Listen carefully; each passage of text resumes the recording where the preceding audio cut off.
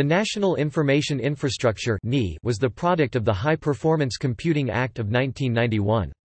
It was a telecommunications policy buzzword, which was popularized during the Clinton administration under the leadership of Vice President Al Gore. It proposed to build communications networks, interactive services, interoperable computer hardware and software, computers, databases, and consumer electronics in order to put vast amounts of information available to both public and private sectors.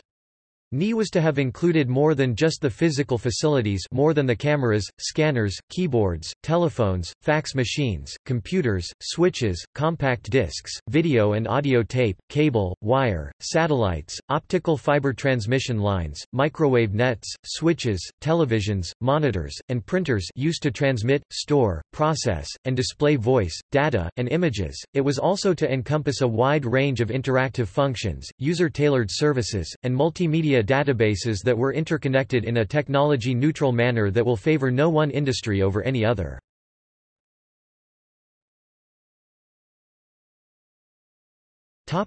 See also.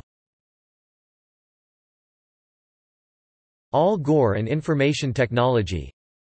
High Performance Computing Act of 1991 Information Superhighway. History of the Internet. NII Award